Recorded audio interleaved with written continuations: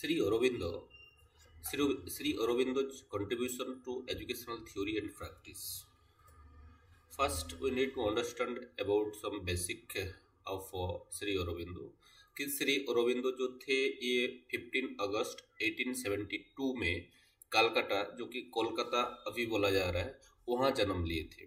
अगर इनका early education को देखे तो ये दार्जिलिंग में अर्ली एजुकेशन कंप्लीट किए थे, उसके बाद वो इंग्लैंड शिफ्ट हो गए थे। और ये Saint Paul school of London से पढ़े थे और उसके साथ साथ किंग्स कॉलेज जो कैम्ब्रिज किंग्स कॉलेज कैम्ब्रिज का वहाँ से पढ़े थे। उसके बाद 1893 में ये इंडिया चले आए थे और इंडिया में जो बड़ोड़ा स्टेट सर्विस जो है, वहाँ काम किए थे टिल 1906 हो गया।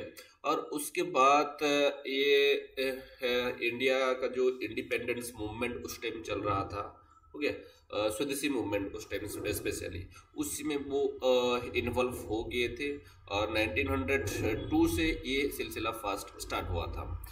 और 1908 में इनको, इनका जो सेडिक्शन था, उसके लिए अरेस्ट कर लिया गया था, और अलीपुर जेल में रखा गया था।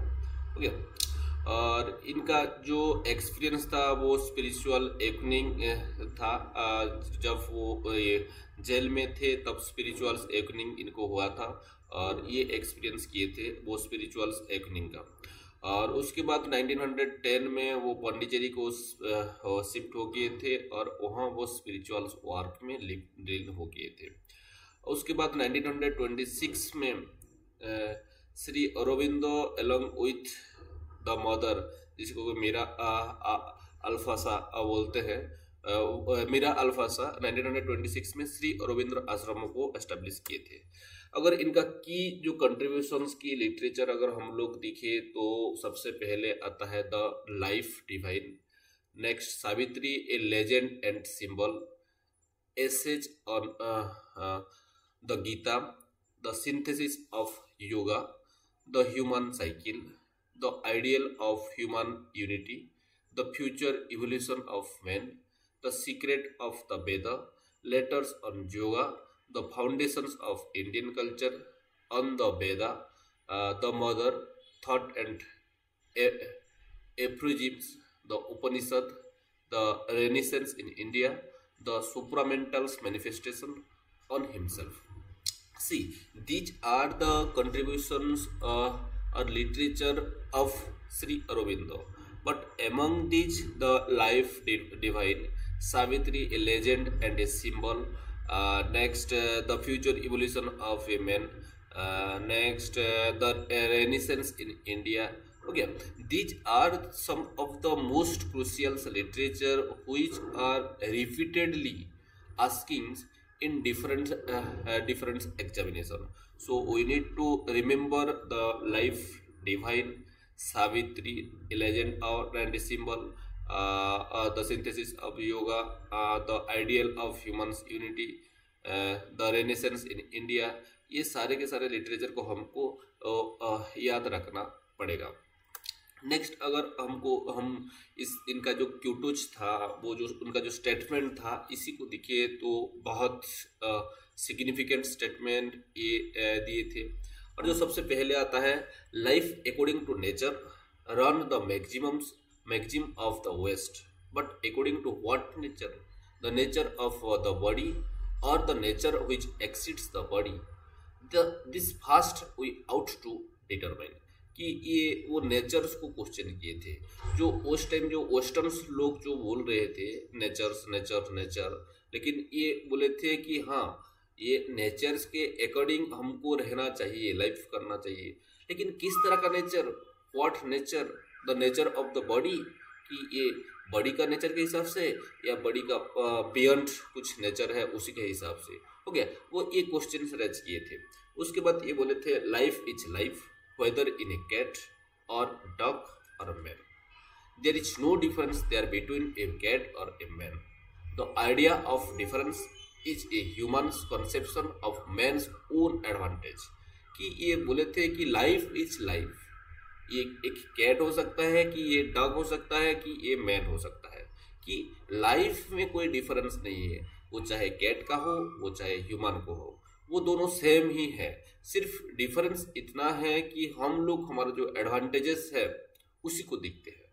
उसके बाद वो बोले थे true knowledge is not attained by thinking it is what you are it is what you become become कि औरबिंदो बोल रहे थे कि ये ट्रू नॉलेज जो है इसी को सोचकर अटेंड नहीं, नहीं किया जा सकता। ये ट्रू नॉलेज क्या है? हम जो है यू आर कि तुम जो है वो है ट्रू ट्रू नॉलेज तुम जो बनने वाले हो, वो है ट्रू नॉलेज ओके उसके बाद वो बोले थे the education of a human being should begin at birth and continue throughout his life और उसके साथ साथ ये बोल रहे थे एजुकेशन एक कंटिन्यूस प्रोसेस है. और ये जब हम लोग जन्म लिए, वहाँ से स्टार्ट हो गया है और हमारा थ्रू आउट द लाइफ ये चल रहा है। The mind has to be consulted in its own growth. It has to be induced to expand according to its own nature उसके साथ साथ बोल रहे थे कि ये माइंड जो है, वो हमारा ओन ग्रोथ को कंसल्ट करता है। और it has to be included to expand according to its own nature और खुद का जो नेचर है, इसी का जो नेचर है, उसी के हिसाब से वो एक्सपेंड होता रहता है। The chief aim of education is to help the growing growing to draw out that in in itself. Which is best and make it perfect for a noble's use.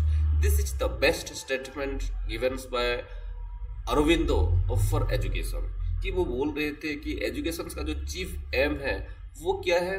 कि ये जो ग्रोइंग सोल है growing soul जो है उसी को क्या करना?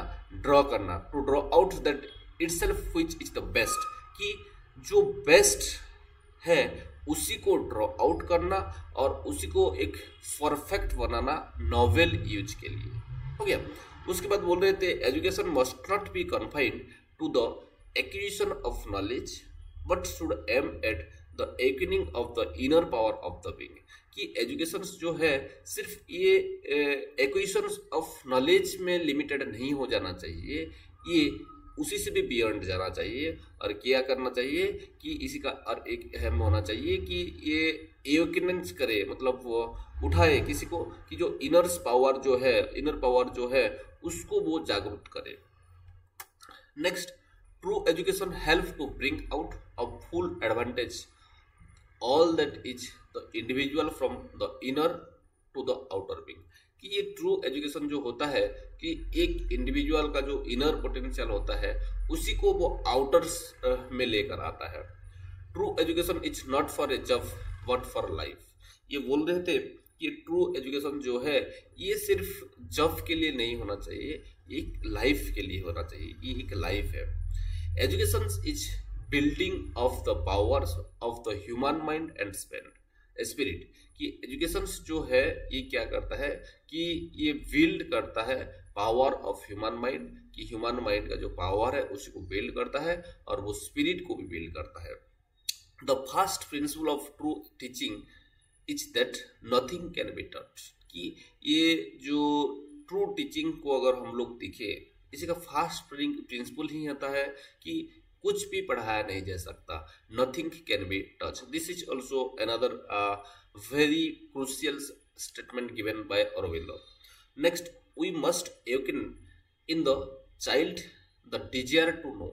हो गया कि हम लोग को एक होने चाहिए कि वो जो डिज़ायर जो हम लोग चाहते हैं हो गया उसको एवोकन करना चाहिए मतलब उसको रेज करना चाहिए education must be as wide as life itself और एजुकेशन क्या होना चाहिए नैरो नहीं होना चाहिए, उतना वाइड होना चाहिए, जितना कि हमारा लाइफ इटसेल्फ वाइड है, जितना वाइड है। और उसके साथ साथ वो बोल रहे थे true education is that which prepare us for complete living कि हम लोग उसी को ही ट्रू एजुकेशन मानते हैं, जो कि क्या करवाता है, कि कंप्लीट लिविंग्स के लिए हमको प्रिपेयर कराता है। The aim of education is to bring out of the best in us to develop our faculties to their fullest potential कि हमारा एजुकेशन का एम्स क्या होना चाहिए, कि हम हमसे जो पोटेंशियल है, उसका जो फुलेस्ट डेवलपमेंट है, हो गया, उसी को करना चाहिए। और हमारा अंदर जो क्वालिटी है, उसी का एकदम फुलेस्ट कंप्लीट जितना हो पाए, जितना हो सके, उस लेवल का डेवलपमेंट उसी को करवाना चाहिए। और एजुकेशन का एम यही रहना चाहिए। The spirit of education should be to encourage the self growth of the soul and mind और उसके साथ साथ अगर हम लोग स्पिरिट ऑफ़ एजुकेशन को देखें तो ये self growth of the soul और माइंड को उसको एनकरेज करना चाहिए। अगर इनका फिलोसफिकल फाउंडेशन देखिए तो ये बहुत ही वाइड है और बहुत सारे नया नया कॉन्सेप्ट को ये लेकर आए थे उनको फिलोसफी में। जो सबसे पहले और वेरी मच पॉपुलर जो आइडिया है, वो है इंटीग्रल्स एजुकेशन गया? ये इंटीग्रल्स एजुकेशन एक तरह का सिंथेसिस था फिलोसफी ईस्ट और वेस्ट फिलोसफिक फिलोसफिकल आइडियाज़ का. कि उस टाइम जो ईस्टर्न फिलोसफी जो एक अलग धारा में चल रहा था वेस्टर्न फिलोसफी एक अलग धारा में चल रहा था तो ये इंटीग्रल्स एजुकेशन एक तरह का एक सिंथेसिस था. वो दोनों को एक साथ लेकर आया था. गया और ये integration of matter life mind and spirit okay कि ये क्या बोलता है इंटीग्रल फिलोसफी में? कि मैटर जो है लाइफ जो है माइंड जो है स्पिरिट जो है, ये सबको, सबका इंटीग्रेशन का बारे में बोलता है। यूनिफाइड वर्ल्ड व्यू के बारे में ये बोलता है। और उसी के साथ साथ अगर इसी का इवोल्यूशन का बारे में देखिए concept of evolution of consciousness are the driving force of existence कि ये कॉन्शियसनेस जो है, ये क्या है कि ड्राइविंग फोर्स ये एग्जिस्टेंस का एक तरह का ड्राइविंग फोर्स है। अगर कॉन्सियसनेस नहीं है तो हमारा एग्जिस्टेंस भी नहीं है। अगर कॉन्सियसनेस है तो हमारा क्या है कि एग्जिस्टेंस है। तो इसीलिए बोला जा रहा है। वो बोले थे कि ये कॉन्सियसनेस जो है कि एग्जिस्टेंस का ये एक तरह का ड्राइविंग फोर्स है। और वो जो डुअलिस्टिक थिंकिंग जो बोल रहे थे माइंड बॉडी स्पिरिट मैटर इसी को ये रिजेक्ट कर रहे थे। क्या कर रहे थे? रिजेक्ट कर रहे थे माइंड बॉडी ऐसे डुअलिस्टिक थिंकिंग नहीं करना चाहिए, ये बोल रहे थे। और ये इंटीग्रेशन के बारे में बोल रहे थे यूनिफाइडनेस के बारे में बोल रहे थे। हो गया? जो दूसरा कॉन्सेप्ट दिए थे, वो है सुप्रामेंटल कॉन्शियसनेस हो गया? ये पहले बोले क्या? कि इंटीग्रल फिलोसफी जहाँ की ईस्ट वेस्ट का सिंथेसिस हुआ। मैटर माइंड लाइफ स्पिरिट का यूनिफाइड हुआ। और उसके बाद बोले कॉन्शियसनेस है मतलब एग्जिस्टेंस है। और और ये एक तरह का ड्राइविंग फोर्स है। और ये रिजेक्ट किए थे डुअलिस्टिक फिलोसफी और ये कॉन्सियसनेस से ही ये एक कॉन्सेप्ट निकाले थे सुप्रामेंटल कॉन्सियसनेस गया? तो ये क्या बिलीव कर रहे थे कि in a higher level of consciousness beyond the mental plane कि सुप्रामेंटल कॉन्शियसनेस का मतलब क्या है? कि एक लेवल का कॉन्शियसनेस जो कि मेंटल मेंटल प्लेन से बहुत बियॉन्ड है। मतलब मेंटल हम जो नॉर्मली सोचते हैं उसी से और एक स्टेप आगे जाकर जब आ, हमारा माइंड कॉन्शियस होगा तब उसी को क्या बोला जा रहा था? सुप्रामेंटल कॉन्शियसनेस बोला जा रहा था। और ये supramental consciousness as the next step of human evolution और ये क्या है? हमारा ह्यूमन इवोल्यूशन का नेक्स्ट स्टेप है। और education as a means to facilitate the manifestation of supramental consciousness और एजुकेशन क्या है कि एजुकेशन एक मीडियम है। एजुकेशन एक मीन्स है। जो कि क्या करना चाहिए कि ये सुप्रामेंटल कॉन्शियसनेस जो है सुप्रामेंटल कॉन्शियसनेस को वो फैसिलिटेट करना चाहिए। हो गया? और एम्फासिस कर रहे थे transformation of the entire being not just mind और वो बोल रहे थे कि सिर्फ़ एक माइंड को ट्रांसफ़र नहीं होना चाहिए। एंटायर बिंग एंटायर ह्यूमन को क्या होना चाहिए? ट्रांसफ़र होना चाहिए। ये था इनका सुप्रामेंटल कॉन्शियसनेस जो कि बहुत ही इंपोर्टेंस ये दिए थे। नेक्स्ट कॉन्सेप्ट जो फिलोसफिकल फाउंडेशन था, वो है स्पिरिचुअल ह्यूमनिज्म ओके इंटीग्रेशन के बारे में तो ये बोले कॉन्शियसनेस के बारे में बोले सुपरमेंटल कॉन्शियसनेस के बारे में बोले, उसके बाद बोलते हैं स्पिरिचुअल ह्यूमनिज्म ये क्या है? Integration of spiritual and material aspect of life कि हमारा लाइफ में बहुत सारे ऐसे स्पिरिचुअल एस्पेक्ट है और उसके साथ साथ मटेरियल एस्पेक्ट है। वो ये दोनों का इंटीग्रेशन के बारे में बोल रहे थे और इसी को बोल रहे थे स्पिरिचुअल ह्यूमनिज्म और ये एम्पासाइज कर रहे थे divine potential within each individual ये एम्फोसाइज कर रहे थे, दुनिया में जो भी इंडिविजुअल है, सबके अंदर कुछ ना कुछ पोटेंशियल है। और वही डिवाइन पोटेंशियल को क्या करना चाहिए कि उसका फुलेस्ट डेवलपमेंट करवाना चाहिए। और ये एजुकेशन के थ्रू ही पॉसिबल है बोलकर अरविंदो बोल रहे थे। और उसी के साथ साथ ये रिजेक्ट कर रहे थे other worldly spirituality in favor of life affirming spiritual practice. कि वो स्पिरिचुअल प्रैक्टिस के लिए जो वो अलग तरह का जो स्पिरिचुअलिटी चल रहा था उस टाइम उसी को वो रिजेक्ट किए थे और ये बोल रहे थे education as a means to realize the divine in everyday life और ये एजुकेशन का मतलब क्या है, कि इसी का मतलब ये है कि हमारे अंदर कुछ क्वालिटी है, हमारे अंदर कुछ डिवाइन है, उसको रियलाइज़ करना, उसको फैसिलिटेट करना ही एजुकेशन का मीन्स है, बोलकर अरविंद बोल रहे थे। ये था उनका तीसरा philosophical foundation that is spiritual humanism next ये बोल रहे थे इवोल्यूशनरी परस्पेक्टिव इनका एक इवोल्यूशनरी परस्पेक्टिव था, ये ह्यूमन डेवलपमेंट के बारे में तो बोल रहे थे, और ये जो था, ये एक लार्जर इवोल्यूशनरी प्रोसेस जो चल रहा था प्रोसेस जो चल रहा है, उसी का एक पार्ट है, अरविंद बोल रहे थे। और उसी के साथ साथ एजुकेशन बोल रहे अरविंद बोल रहे थे education as a tool to accelerate individual and collective evolution कि ये जो इंडिविजुअल एक्सेलरेशन कलेक्टिव इवोल्यूशन ये सिर्फ़ एजुकेशन क्या कर सकता है? इसी को एक्सेलरेट कर सकता है। ये इंडिविजुअल और कलेक्टिव इवोल्यूशन को एक्सेलरेट कर सकता है। और उसी के साथ साथ ये एम्फासाइज कर रहे थे the development of higher faculties and potential और हर वक्त ये higher level of thinking higher level of faculties higher level of potential का अनफोल्डमेंट डेवलपमेंट के बारे में ही ये बात कर रहे थे।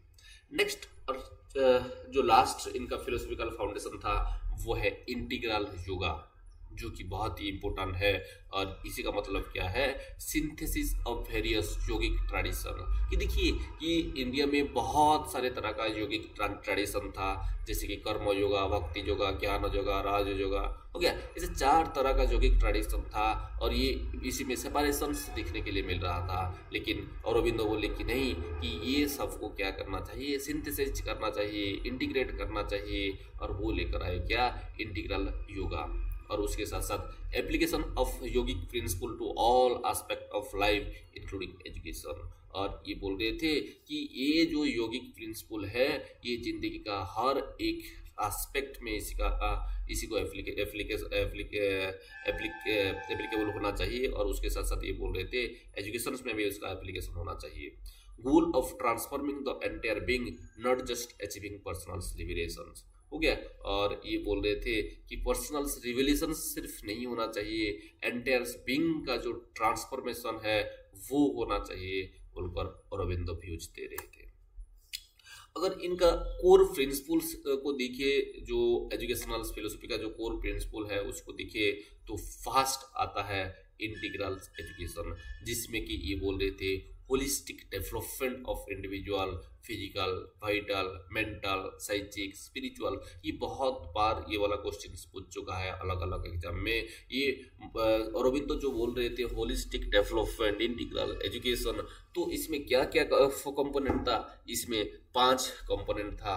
वो है psychic vital mental physical vital mental psychic and spirituals हो गया? Which are the five most prominent component of integrals education गया और ये बोल रहे थे कि होलिस्टिक डेवलपमेंट तो ये सब का होना चाहिए और उसी के साथ साथ उसमें एक बैलेंस ग्रोथ होना चाहिए। हो गया?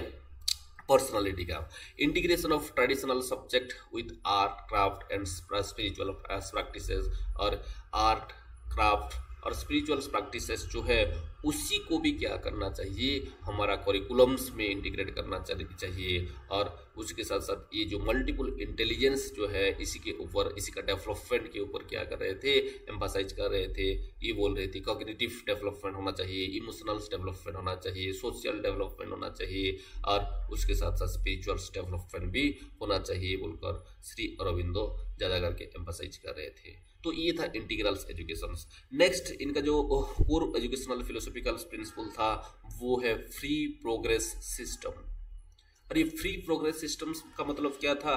कि एम्फासाइज किए थे self directed learning and increasing motivation कि फ्री प्रोग्रेस मतलब एक तरह का सेल्फ डायरेक्टेड पर्सनल इंस्ट्रक्शन आज का डेट में जो हम लोग बोल रहे हैं, उसी का बात कर रहे थे। सेल्फ डायरेक्टेड लर्निंग होना चाहिए स्टूडेंट खुद का हिसाब से लर्न करना चाहिए और स्टूडेंट को कोई मोटिवेट नहीं करना चाहिए। वो इंटरनली मोटिवेट होना चाहिए, जिसको कि वो इंट्रेंजिक मोटिवेशन बोल रहे थे।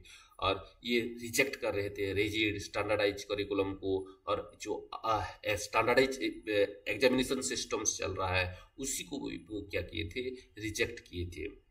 और ये एनकरेज कर रहे थे एक्सप्लोरेशन एक्सपेरिमेंटेशन डिस्कवरी इसके ऊपर ही एम्फोसाइज कर रहे थे। और एक फ्लेक्सिबल टाइम टेबल्स के बारे में बोल रहे थे, ठीक और ठीक रविंद्रनाथ टैगोर के जैसे। और ये पर्सनलाइज लर्निंग पाथ के बारे में भी ये बोल रहे थे। और ये एम्फोसाइज किए थे development of self discipline and responsibility in learner ये सेल्फ डिसिप्लिन जो है रेस्पॉन्सिबिलिटी एक लर्नर का जो है, इसी के ऊपर भी ये एम्फोसाइज कर रहे थे। नेक्स्ट अगर core philosophical educational philosophical principle को हम देखें तो वो है लर्निंग बाय डूइंग ये भी वही प्रैक्टिस एक्सपीरियंस के ऊपर ज़्यादा एम्फोसिस दे रहे थे और बोल रहे थे एजुकेशन कैसा होना चाहिए? प्रैक्टिकल एक्सपीरियंसल होना चाहिए बोलकर ये एम्फोसाइज कर रहे थे। उसी के साथ साथ ये integration of theory and practice कि हर एक सब्जेक्ट में ये थ्योरी और एज वेल एज प्रैक्टिस जो एक्सपीरियंस प्रैक्टिकल वो रहना चाहिए कहकर एम्फासाइज कर रहे थे। उसके साथ साथ emphasis on project based learning hands on learning experiences इसी के बारे में बोल रहे थे। और रियल वर्ल्ड प्रॉब्लम चैलेंजेस को करिकुलम्स में इनकॉर्पोरेट इंटीग्रेट करने के बारे में बोल रहे थे। और जो स्किल है हो गया नॉलेज एक्विजिशन तो होना चाहिए और लर्नेज नॉलेज एक्विजिशन के साथ साथ स्टूडेंट को स्किल का डेवलप स्टूडेंट का जो स्किल है, उसको भी डेवलप करना चाहिए। ये श्री अरविंदो बोल कर रहे थे जो नेक्स्ट कोर प्रिंसिपल था श्री अरविंदो का एजुकेशनल फिलोसफी को लेकर, वो है इंडिविजुअलाइज्ड एजुकेशन और ये इंडिविजुअलाइज एजुकेशन में वो क्या बोल रहे थे? वो रिकॉग्नाइज किए थे। Each and every individual has some unique potentialities और लर्निंग पेस कि ये सोच रहे थे, ये व्यूज़ दे रहे थे कि दुनिया में जितना भी इंडिविजुअल है, उनका अलग अलग यूनिक पोटेंशियल है और उनका जो लर्निंग पेस है, वो भी एक दूसरे से अलग है। और ये एम्पासाइज कर रहे थे tailoring education to individual need interest and capacities और ये एजुकेशन जो है, वो चाइल्ड का, वो इंडिविजुअल का नीड इंटरेस्ट और कैपेसिटीज के हिसाब से होना चाहिए, ना कि उसी से ज़्यादा, ना कि उसी से कम। और ये एम्फासाइज कर रहे थे डिस्कवरी के बारे में, और नर्चरिंग को ये एम्फासाइज कर रहे थे। हो गया? क्योंकि ये डिस्कवरी और नर्चरिंग्स जो है, वो वो स्टूडेंट का जो इनेट एबिलिटीज है, स्टूडेंट का जो पोटेंशियलिटीज है, उसी को अनफोल्ड कर सकता है। और ये एक फ्लेक्सिबल असेसमेंट मेथड के बारे में बोल रहे थे, जो कि डाइवर्स इंडिविजुअल्स डिफरेंसेस को इंडिविजुअल्स को क्या कर सके, कि एकोमोडेट कर सके। और उसके साथ साथ ये पर्सनल गाइडेंस और मेंटरिंग के बारे में भी बोल रहे थे। नेक्स्ट कोर प्रिंसिपल जो है, वो है टीचर एज फैसिलिटेटर क्या टीचर आज फैसिलिटेटर ये अरविंदो जो थे, वो टीचर को क्या बोल रहे थे कि एक फैसिलिटेटर की तरह देख रहे थे। ये टीचर जो है, ये कैसा होना चाहिए, इसी का रोल क्या होना चाहिए कि ये गाइड करना चाहिए स्टूडेंट को। स्टूडेंट को फैसिलिटेट्स करना चाहिए rather than an authoritative figure कि एक ऑथोरिटेरियन फिगर ना होकर ये स्टूडेंट को गाइड करना चाहिए और फैसिलिटेट करना चाहिए। ये एम्फासाइज कर रहे थे एक कंड्यूसिव लर्निंग एनवायरमेंट्स के ऊपर कि जो स्कूल है, जो लर्निंग एनवायरमेंट है, वो कैसा होना चाहिए, वो एकदम कंडीसिव होना कंडीसिव होना चाहिए। और ये एम्फासाइज कर रहे थे development of close nurturing relationship between teacher and students की स्टूडेंट्स एंड टीचर के अंदर एक क्लोज रिलेशनशिप रहना चाहिए, जहाँ की टीचर नर्चर कर सके स्टूडेंट को। और उसके साथ साथ सेल्फ डेवलपमेंट का कॉन्टीन्यूटी के बारे में बोल रहे थे स्पिरिचुअल ग्रोथ ऑफ़ टीचर्स का बारे में बोल रहे थे, और उसके साथ साथ ये कोलाबरेटिव अप्रोच ऑफ़ लर्निंग के बारे में बोल रहे थे, जहाँ की स्टूडेंट एंड टीचर्स एक दूसरे से स्टूडेंट जो कि सिर्फ़ लर्न करने के लिए टीचर सिर्फ़ पढ़ाने के लिए, ऐसा नहीं होना चाहिए। वो दोनों को लर्नर होना चाहिए। स्टूडेंट्स लर्न कर रहे हैं, उसी का टीचर एक को लर्नर होना चाहिए। ऐसे श्री अरविंदो टीचर को डिस्क्राइब किए थे। और उसके साथ साथ जो उनका नेक्स्ट जो कोर प्रिंसिपल था, वो है एजुकेशन फॉर लाइफ कि ये अरविंदो जो थे, वो बोल रहे थे, ये एजुकेशन क्या होना चाहिए? Education preparation for life rather than mere academic achievement कि ये एकेडमिक अचीवमेंट का पीछे ना पड़कर एजुकेशन क्या होना चाहिए? कि प्रिपरेशन फॉर एंटायर लाइफ होना चाहिए। इसीलिए यहाँ उस जो स्टूडेंट है, उसका लाइफ स्किल डेवलपमेंट होना चाहिए कैरेक्टर डेवलपमेंट होना चाहिए वैल्यूज़ डेवलप होना चाहिए। ये सब कुछ डेवलप होना चाहिए alongside with academic knowledge academic knowledge तो उसको मिलना चाहिए, लेकिन इसी को छोड़कर लाइफ स्किल कैरेक्टर वैल्यूज़ ये सब का भी डेवलपमेंट होना चाहिए। और ये प्रैक्टिकल्स एप्लीकेशंस ऑफ़ नॉलेज के बारे में बोल रहे थे कि स्टूडेंट को रियल लाइफ प्लेटफॉर्म में रियल लाइफ सिचुएशन में उसका जो थियोरिटिकल नॉलेज है, उसको प्रैक्टिस करने का एक अपॉर्चुनिटी देना चाहिए और ऐसा सेटअप करना चाहिए। श्री अरविंद बोल रहे थे।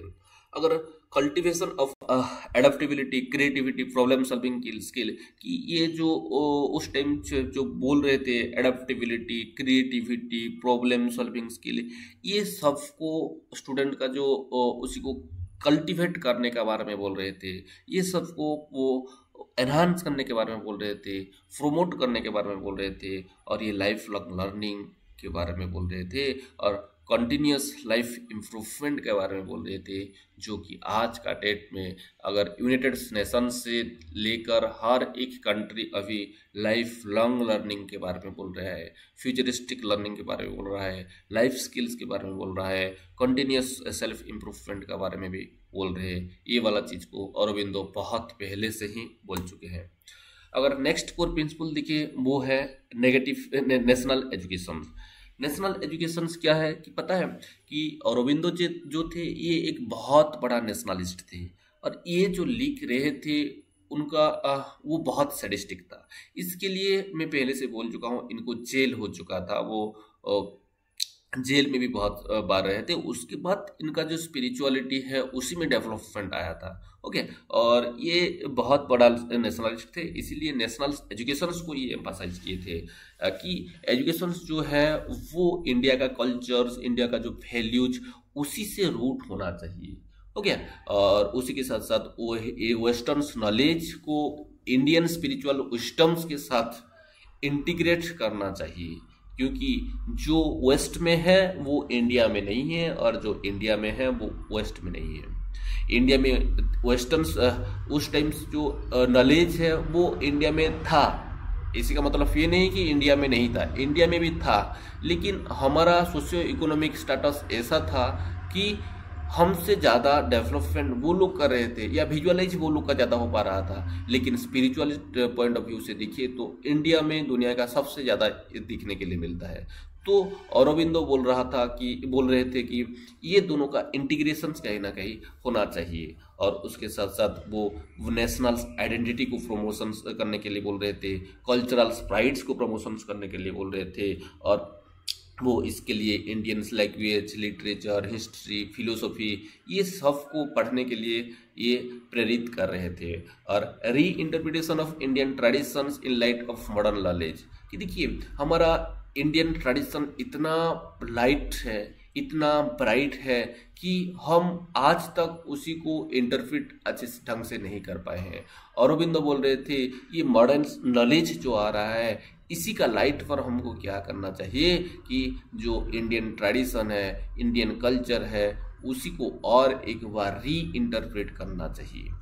नेक्स्ट ये इनका जो कोर प्रिंसिपल था वो है एजुकेशन फॉर इंटरनेशनल अंडरस्टैंडिंग हो गया कि ये जो एजुकेशन एजुकेशनल व्यू था सिर्फ़ वो आ, आ, इंडिया या कोई एक पर्टिकुलर स्टेट के में नेहरू नहीं था। इनका अंडरस्टैंडिंग वर्ल्ड वाइड था इंटरनेशनल था। और ये इसीलिए बोल रहे थे कि promotion of global citizenship and human unity जो आज का डेट में रियलाइज़ हुआ है लोगों को। यूनाइटेड नेशंस भी ग्लोबल सिटीजनशिप के बारे में बोल रहा है ह्यूमन यूनिटी के बारे में बोल रहा है। ये औरबिंदु बहुत पहले बोल चुके थे कि क्या होना चाहिए? ग्लोबल सिटीजनशिप का प्रमोशन होना चाहिए ह्यूमन यूनिटी को डेवलपमेंट होना चाहिए और उसी के साथ साथ ये एम्फेसाइज कर रहे थे कल्चरल डाइवर्सिटी यूनिवर्सल वैल्यूज़ इसी को भी प्रमोशन करने के लिए भी बोल रहे थे। और study of world culture language and global issues इसी के ऊपर भी इंटरनेशनल अंडरस्टैंडिंग में आना चाहिए। Fostering inter cultural communication and cooperation skill इसी को फोस्टर करना चाहिए। एक vision of future world unity based on spiritual foundation की स्पिरिचुअल फाउंडेशन के ऊपर बेस करके ये फ्यूचर वर्ल्ड का यूनिटी का एक विजन्स रखना चाहिए।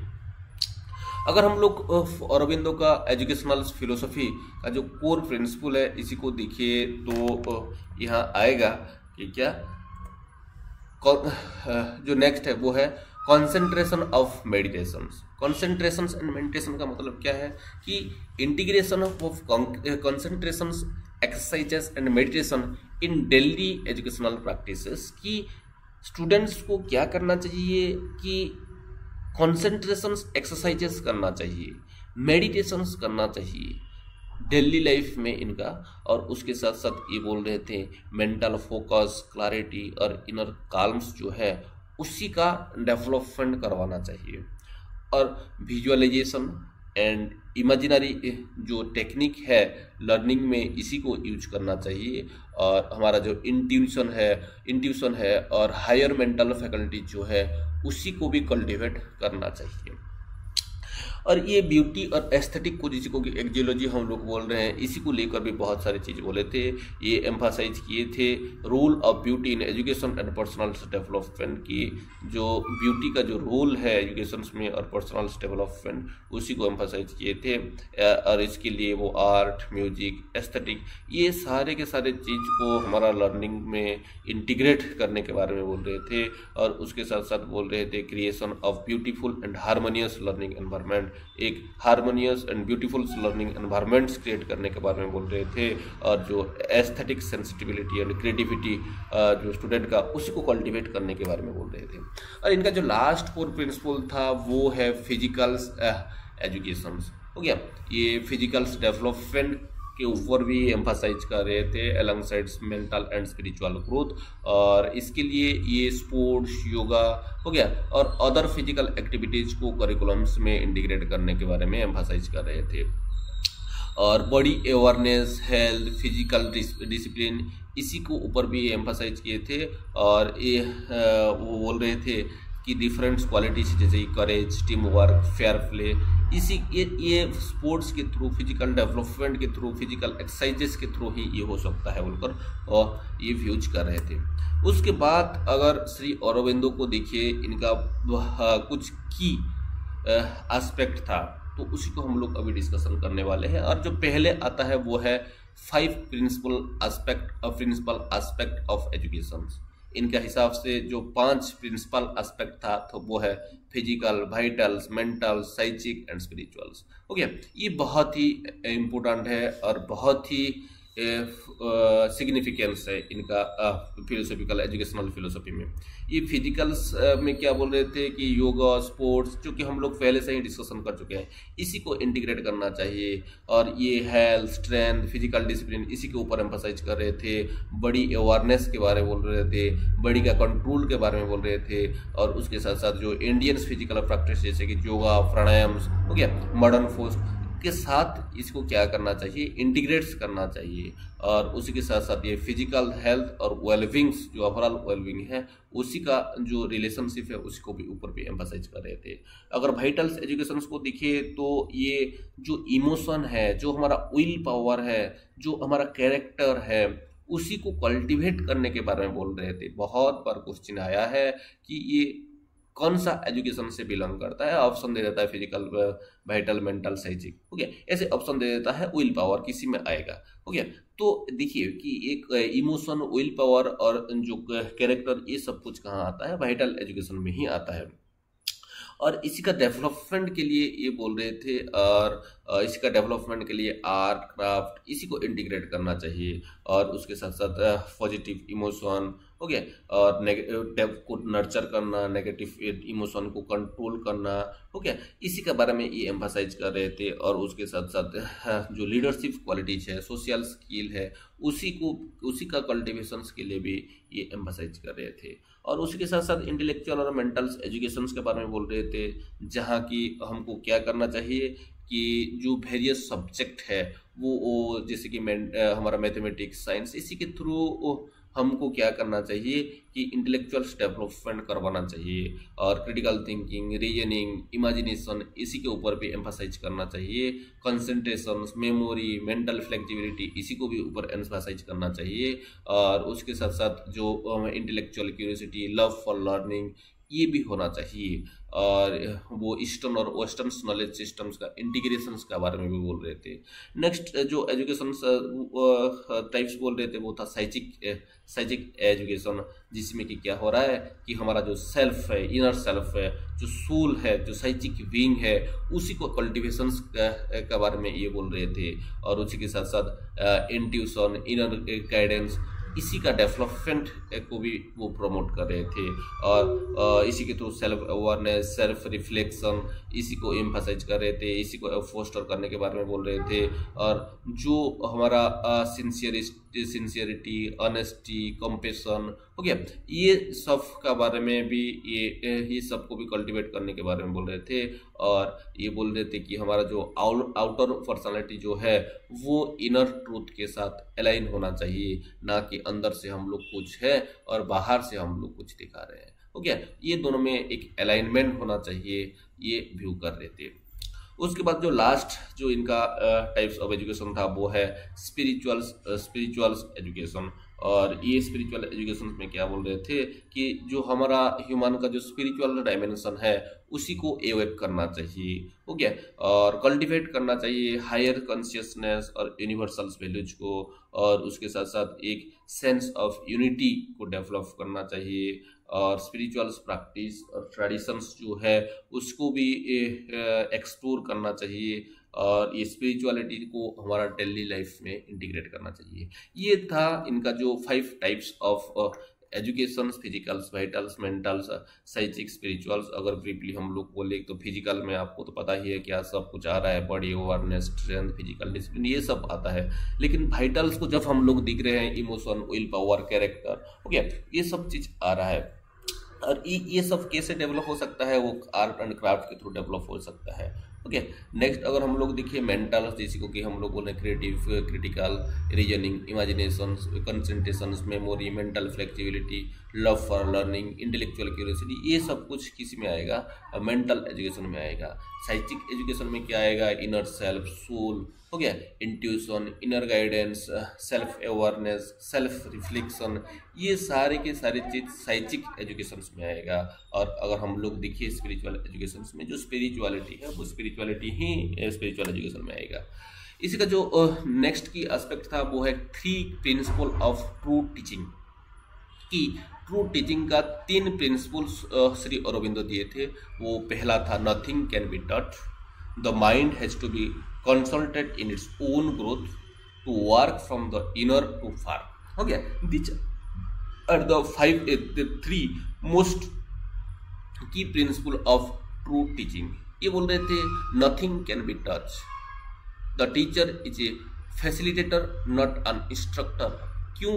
क्योंकि ये टीचर जो है, वो एक फैसिलिटेटर है। उसका ड्यूटी है सिर्फ़ फैसिलिटेट करना फैसिलिटी प्रोवाइड करना, ना कि एक इंस्ट्रक्टर जहाँ की वो इंस्ट्रक्टर इंस्ट्रक्शन दे सके। उसी के साथ साथ ये बोल रहे थे knowledge exist within the learner and must be drawn out और ये बोल रहे थे, ये नॉलेज जो आप बोल रहे हैं कि पढ़ाना पढ़ाना पढ़ाना, कुछ पढ़ाना नहीं होता है। सब कुछ चाइल्ड के अंदर पहले से ही है। सिर्फ़ तुम्हारा काम क्या है कि उसी को एवक करवाना, उसी को ड्राउट करना, उसी को बाहर लाना ही क्या है? एक फैसिलिटेटर जिसको कि हम टीचर बोल रहे हैं, उसी का रोल है।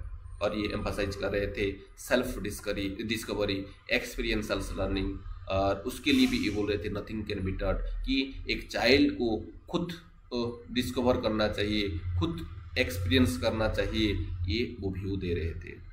और the role of teacher in creating conditions for learning और टीचर्स का क्या रोल होना चाहिए? उसको एक ऐसा कंडीशंस बनाकर देना चाहिए, जहाँ की स्टूडेंट खुद डिस्कवर कर सके खुद एक्सपीरियंस करके लर्न कर सके ओके और उसी का जो इनर क्वालिटीज है, वो बाहर आ सके और उसी का अनफुलफिल्ड हो सके। Rejection of rote memorisation and passive reception of information और ये जो रूट मेमोराइजेशन जो था, उसी को रिजेक्ट किए थे और वो पासिव रिसेप्शन जो इन्फॉर्मेशन है, उसी को ये भी रिजेक्ट कर रहे थे। गया? This is all about nothing can be taught वाला जो प्रिंसिपल है ट्रू टीचिंग का, उसका है। नेक्स्ट हम लोग देखेंगे the mind has to be consultant in its own growth कि ये माइंड जो है, वो खुद का ग्रोथ के हिसाब से ही कंसल्ट करता है। कैसे education should follow the natural development of mind?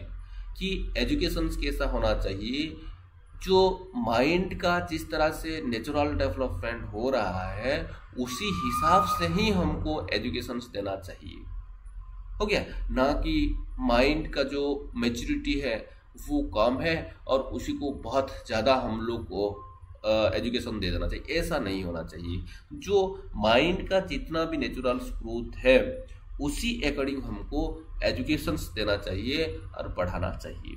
Respect for the learner individual best and interest और उसी के साथ साथ ये उसी टाइम से फूल रहे थे कि ये इंडिविजुअल्स डिफरेंट स्टूडेंट्स के अंदर देखने के लिए मिलता है। सारे के सारे स्टूडेंट सेम पेस में लर्न नहीं कर सकते। और जो इंडिविजुअल्स डिफरेंस ये लर्निंग पेस में देखने के लिए मिलता है उनका इंटरेस्ट में देखने के लिए मिलता है उसको वो वो, सभी को हमको क्या करना चाहिए? रेस्पेक्ट करना चाहिए। और उसी अकॉर्डिंग हमको सुइटेबल मेथड ऑफ़ टीचिंग्स को भी क्या करना चाहिए? एडॉप्ट करना चाहिए डिफरेंट डिफरेंट चाइल्ड के लिए। और यहाँ टीचर का रोल आता है कि जो सेल्फ डायरेक्टेड लर्निंग और एक्सप्लोरेशन उसी के लिए इनक्रेज करना चाहिए। और करिकुलम्स में भी फ्लेक्सिबिलिटी लाना चाहिए ताकि जो अलग अलग इंडिविजुअल जो है, उनका जो पैस है, उनका जो इंटरेस्ट है, उनका जो नीड है, वो सबको एकोमोडेट कर सके। तो इसीलिए अरविंदो बोल रहे थे कि the mind has to be consulted in its own growth हो गया? और जो लास्ट वाला जो प्रिंसिपल था ट्रू टीचिंग का, वो है to work from the near to the far ये उनका जो तीसरा वाला प्रिंसिपल था ट्रू टीचिंग का। तो begin with what is familiar to learner हम जो पढ़े थे मैक्सिम ऑफ़ टीचिंग हो गया?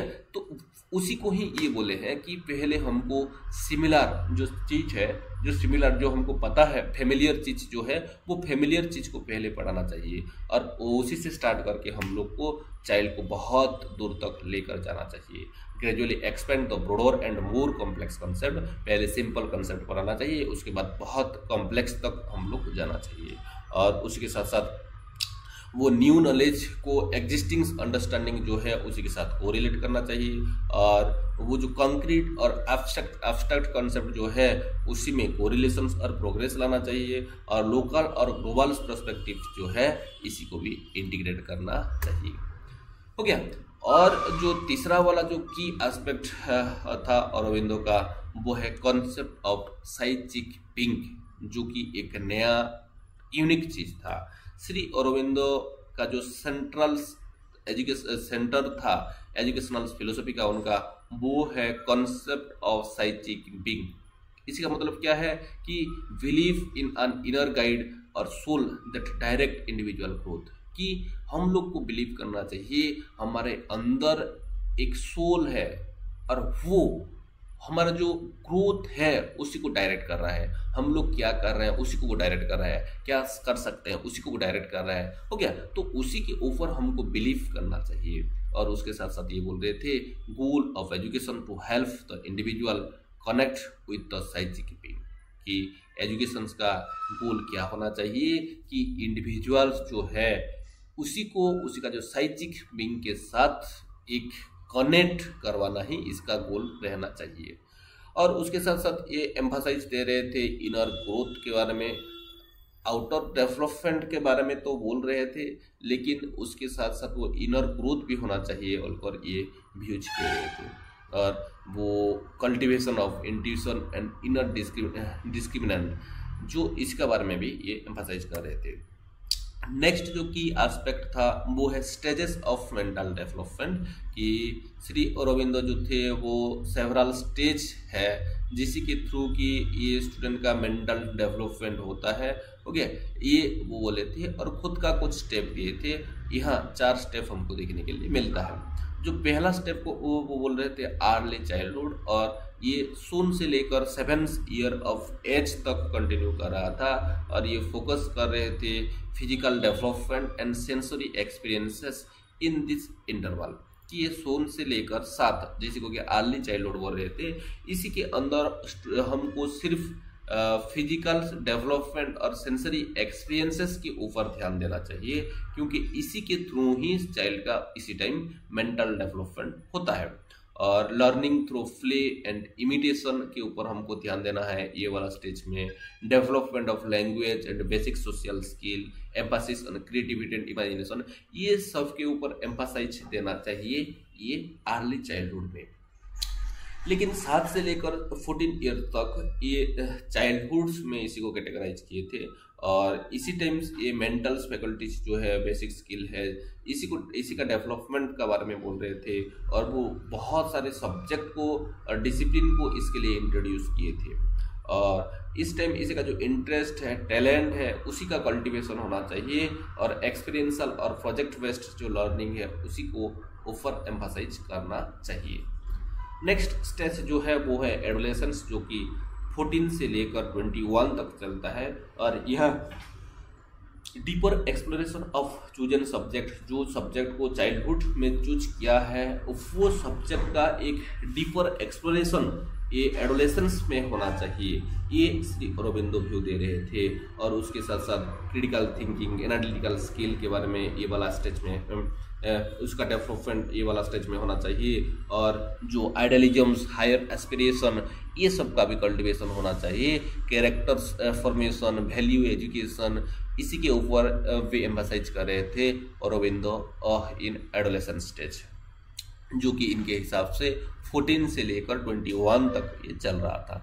नेक्स्ट जो लास्ट स्टेज था, वो है यंग एडल्ट जो कि 20 21 से लेकर बियॉन्ड 21 बियॉन्ड था।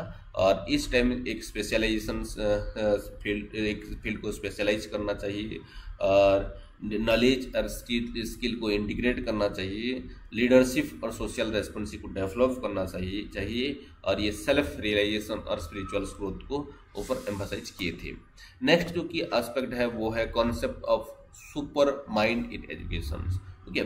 कि ये हायर कॉन्शियसनेस का बारे में बोल रहे थे, जिसी को कोई हम लोग क्या बोलते हैं? सुपर माइंड बोलते हैं। और ये इंट्यूसिव सुपरमेंटल सुपरामेंटल फैकल्टीज इसी के ऊपर ज़्यादा ध्यान दे रहे थे जिसी को कि हम लोग पहले से डिस्कस कर, कर चुके हैं। Preparation for next stage of human evolution और ये बोल रहे थे कि next stage of human evolution कैसा होगा उसी के लिए हमको प्रिपेयर रहना चाहिए और प्रिपेयर होना चाहिए और एम्फासाइज दे रहे थे ट्रांसफॉर्मेशन ऑफ़ एंटायर विंग जो एंटायर विंग का डेवलपमेंट होना चाहिए ना कि उसका सिर्फ़ मेंटल डेवलपमेंट होना चाहिए। अगर हम लोग इसी का एप्लीकेशन को एजुकेशन में देखिए तो ये जो करिकुलम्स डिज़ाइन है, वो एकदम फ्लेक्सिबल्स होना चाहिए और वो इंडिविजुअल का नीड और इंटरेस्ट के हिसाब से होना चाहिए। और उसके साथ साथ ये बोल रहे थे कि एकेडमिक सब्जेक्ट जो है वो प्रैक्टिकल स्किल और स्पिरिचुअल्स डेवलपमेंट के साथ इंटीग्रेट होना चाहिए। Art craft physical education alongside traditional subject को वो करिकुलम में इंक्लूड करने के बारे में बोल रहे थे। और प्रोजेक्ट बेस्ड और इंटरडिसिप्लिनरी लर्निंग को एकोमोडेट करने के लिए बोल रहे थे। और meditation concentration exercises yoga daily schedules में इसको इंक्लूड करने के बारे में बोल रहे थे।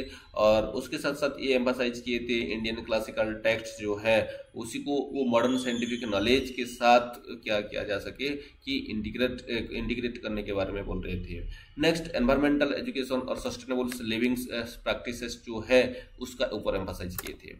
अगर टीचिंग मेथड को देखिए तो ये प्रोजेक्ट बेस्ड लर्निंग जो कि रियल वर्ल्ड एप्लीकेशंस हो सकता है, उसी को ऊपर ध्यान दिए थे। एक्सपेरिमेंटल्स और हैंड्स ऑन एक्टिविटीज़ के ऊपर कंसंट्रेट किए थे और वो एम्फासाइज किए थे। मेडिटेशन एंड कंसंट्रेशन एक्सरसाइजेस के बारे में बोल रहे थे। ग्रुप डिस्कशंस कोलाबोरेटिव लर्निंग के बारे में बोल रहे थे। नेचर बेस्ड लर्निंग के बारे में बोल रहे थे। एनवायरमेंटल लर्निंग के बारे में बोल रहे थे। ओके और integration of art and creativity के बारे में बोल रहे थे। स्टोरी टेलिंग के बारे में बोल रहे थे। फियर टीचिंग्स के मेंटरिंग प्रोग्राम्स के बारे में बोल रहे थे। गेम्स एंड सिमुलेशंस के लिए भी बोल रहे थे। अगर लर्निंग एनवायरनमेंट को दिखे तो ये क्या बोल रहे थे कि एक ऐसा लर्निंग एनवायरनमेंट बनाना चाहिए जो कि स्टूडेंट को नर्चर कर सकते स्टिमुलेट कर सके कि ये हायर ऑर्डर्स लर्निंग के लिए। और उसके साथ साथ वो जो एनवायरनमेंट है वो नेचर से एकदम क्लोज रहना चाहिए आउटडोर क्लासरूम रहना चाहिए गार्डन्स लर्निंग चाहिए गार्डन्स लर्निंग होना चाहिए। और उसके साथ साथ ये एम्फासाइज कर रहे थे ब्यूटी एंड एस्थेटिक्स के ऊपर। और ये लर्निंग स्पेस जो होता है, वो एकदम ब्यूटीफुल होना चाहिए एस्थेटिक होना चाहिए। अगर कोई जा रहा है और तो वहाँ उसी को भी फील होना चाहिए फील होना चाहिए कि बहुत अच्छा है। और उसके साथ साथ ये flexible and adaptable learning spaces के बारे में बोल रहे थे, ना कि एक नैरोड एकदम अनकम्फर्टेबल्स एकदम एक फ्लेक्सिबल्स और एडेप्टेबल्स लर्निंग स्पेसेस के बारे में बोल रहे थे और टेक्नोलॉजी को इंटीग्रेट करना चाहिए सेल्फ डायरेक्टेड लर्निंग के बारे में बोल रहे थे quest space reflection and meditation के बारे में बोल रहे थे एस्टेब्लिशमेंट लर्निंग कम्युनिटीज और मेंटरशिप्स प्रोग्राम के बारे में भी ये बोल रहे थे, जिसको कि लर्निंग एनवायरनमेंट करना चाहिए। और ये असेसमेंट जो था, उस टाइम जो ट्रेडिशनल एग्जामिनेशन सिस्टम उसको एकदम रिजेक्ट कर रहे थे। बोल रहे थे सी के बारे में फॉर्मेटिव इवेल्यूशन के बारे में, और ऑब्जर्वेशन डायलॉग के बारे में सेल्फ इवेल्यूशन के बारे में पीयर इवेल्यूशन के बारे में और इंडिविजुअल प्रोग्रेस के बारे में और उसके साथ साथ पोर्टफोलियो प्रोजेक्ट प्रेजेंटेशन के बारे में बोल रहे थे एम्फासिस डेमोन्स्ट्रेशन के ऊपर एम्फासाइज कर रहे थे ओके और holistic assessment considering all aspect of development that is physical vitals mental psychic okay holistic assessment के बारे में बोल रहे थे। मेरे दिमाग में एक एक बार क्वेश्चन आता है, इतना सारे इंडियन फिलोसोफर इतना पहले बोल चुके हैं कि इंडिविजुअलाइज इंस्ट्रक्शन होना चाहिए फॉर्मेटिव इवेल्यूशन होना चाहिए। लेकिन फिर भी क्यों इंडियन एजुकेशन सिस्टम्स में ये सारे के सारे चीज़ इंटीग्रेट करने के लिए इतना साल लग गया? आज तक हम लोग, ये लोग जो बात बोले हैं, उस टाइम उसी को इंटीग्रेट नहीं कर सके हैं। और शायद ये एक बहुत बड़े वजह है वजह है जिसके कारण कि इंडियन एजुकेशन सिस्टम जो है इतना नीचे चला गया है। तो चलिए तो टीचर्स ट्रेनिंग को अगर हम लोग दिखे तो ये बोल रहे थे कि टीचर्स का जो स्पिरिचुअल्स और पर्सनल्स डेवलपमेंट है, वो कंटिन्यूसली होना चाहिए। टीचर का जो स्किल और चाइल्ड साइकोलॉजी ये दोनों के लिए उसको ट्रेनिंग मिलना चाहिए और उसका डीप अंडरस्टैंडिंग को कल्टीवेट करना चाहिए थ्रू इंटीग्रल एजुकेशन प्रिंसिपल और डेवलप होना चाहिए ऑब्जर्वेशनल स्किल इंट्यूसिव अंडरस्टैंडिंग उसका डेवलप होना चाहिए और मल्टीपल डिसिप्लिन्स और जो है उसको भी ट्रेनिंग करवाना चाहिए और सब कंटिन्यूस प्रोफेशनल डेवलपमेंट होना चाहिए और वो टीचर्स रोल्स जो है लाइफ लॉन्ग लर्निंग में उसी के ऊपर भी एम्फासाइज कर रहे थे। पेरेंट्स एजुकेशन के बारे में बोल रहे थे। एजुकेशन प्रोसेस में पेरेंट्स लोगों का इन्वॉल्वमेंट बहुत ही ज़रूरी है और उनके लिए भी different different seminar workshop organisation करने के बारे में ये व्यूज़ कर रहे थे। और गाइडेंस और सपोर्ट फुल एनवायरनमेंट में कैसे चाइल्ड को मिल सके, उसका बारे में भी ये बोल रहे थे। और पेरेंट्स को जो स्कूल का एक्टिविटीज़ है, उसमें पार्टिसिपेट करने के लिए एनकरेज करने के बारे में भी बोल रहे थे। अगर कम्युनिटी एंगेजमेंट को देखिए तो इंटीग्रल्स एजुकेशन में कम्युनिटी को कम्युनिटी को भी एंगेज किया गया था और उनका भी एक सोशल रेस्पॉन्सिबिलिटी था। और इसी को भी हमारा करिकुलम्स में इंक्लूड करने के बारे में वो फ्यूज दिए थे। Collaboration with local communities and real world learning experiences और रियल वर्ल्ड तो एक्सपीरियंसेस बोल रहे थे हैंड्स ऑन बोल रहे थे, लेकिन इसके लिए वो कम्युनिटी के साथ कोलाबोरेट करने के बारे में भी बोल रहे थे। और life long learning establish centre को एस्टेब्लिश करने के लिए बोल रहे थे, ताकि ये जो कम्युनिटी है वो एकदम वाइड हो सके। और जो कल्चरल इवेंट है और एग्जीबिशन है, उसी को भी ऑर्गेनाइज करने के बारे में बोल रहे थे। नेक्स्ट अगर हम इंस्टीट्यूशंस को देखिए तो नाइनटीन फोर्टी थ्री में पंडिचेरी में Sai Sri Aurobindo international centre of education जिसको हम साइक बोलते हैं, वो भी, उसी को भी एस्टेब्लिश किया गया था। और इसी का ऐसे बहुत सारे फीचर था, जैसे कि यहाँ फॉर्मल एग्जामिनेशन सिस्टम नहीं हो रहा था क्रेडिट नहीं हो रहा था सेल्फ मोटिवेशंस के ऊपर ध्यान दे रहा था इंडिगल एजुकेशन के ऊपर ध्यान दे रहा था east and west educational approaches को यहाँ इंटीग्रेट किया गया था। ट्रीलिंगुअल्स एजुकेशन इंग्लिश फ्रेंच और संस्कृत में पढ़ाया जाता था और strong focus physicals education sports के ऊपर ध्यान दिया था आर्ट क्राफ्ट म्यूज़िक के ऊपर ध्यान दिया गया था रिसर्च के ऊपर ध्यान दिया गया था। हो गया। ये S I Aurobindo Sri Aurobindo international centre of education, जो कि 1943 में पौंडीचेरी में एस्टेब्लिश किया गया था। उसके बाद ओरोविल जो, जिसको कि बहुत बार को बहुत सारे जो एग्ज़ाम है वो पूछ चुका है कि इसी को एक बनाया गया था 1968 में और ये पौंडीचेरी में ही बनाया गया था, जिसको इंटरनेशनल टाउनशिप नियर पौंडीचेरी हो गया और ये एजुकेशनल प्रोग्राम था श्री अरविंदो का, जो प्रिंसिपल है उसी के ऊपर बेस करके और ये एम्फासाइज कर रहा था, एक्सपेरिमेंटल और अल्टरनेटिव अल्टरनेटिव एजुकेशनल मॉडल। और इसी में क्या हो रहा था, इसका जो फीचर था, वो है multiple school with different approaches. कि यहाँ बहुत सारे तरह का स्कूल था और वो सारे के सारे स्कूल का अलग अलग अप्रोचेस था। लास्ट स्कूल फ्यूचर स्कूल ऐसे अलग अलग तरह का जो मॉडल वाला स्कूल वो था। और ये फोकस कर रहा था एनवायरमेंटल एजुकेशन को और सस्टेनेबल लिविंग को। यहाँ भी वर्क एक्सपीरियंस के साथ साथ कम्युनिटी सर्विसेज़ को इंटीग्रेट किया गया था। Multiculturals multilinguals learning environment create किया गया था। Self governance collective decision making के ऊपर ध्यान दे रहा था। और रिसर्च एंड एक्सपेरिमेंटेशन के ऊपर भी ध्यान दे रहा था। नेक्स्ट था हमारा मेराम्बिका जो कि फ्री प्रोग्रेस स्कूल है। मेराम्बिका फ्री प्रोग्रेस स्कूल जिसको कि 1981 में दिल्ली में बनाया गया था। और इसी को जो इम्प्लीमेंट था the free process system free process system में इसी को इम्प्लीमेंट किया गया था। और ये कम्प्लीटली चाइल्ड सेंटर्ड था एक्सपीरियंस लर्निंग यहाँ मिल रहा था। और इसी का जो जो की फीचर था, वो फॉर्मल क्लासरूम्स नहीं था यहाँ। और फिक्स्ड करिकुलम्स कुछ भी यहाँ नहीं था। और लर्निंग जो है वो प्रोजेक्ट के थ्रू हो रहा था थीम के थ्रू यहाँ लर्निंग हो रहा था और यहाँ स्टूडेंट उनका जो मल्टीपल इंटेलिजेंस है, उसी को इंटीग्रेट किया गया था और क्रिएटिविटी सेल्फ एक्सप्रेशन को एम्फासाइज किया गया था। क्लोज एक कोलाबोरेशन यहाँ देखने के लिए मिल रहा था टीचर स्टूडेंट एंड पेरेंट्स का। नेक्स्ट जो इंस्टीट्यूशन था, श्री अरविंदो एजुकेशन सोसाइटी 1968 में बनाया गया था। Sri Aurobindo foundation for integrals education and research 1984 में पंडिचेरी में और एक बनाया गया।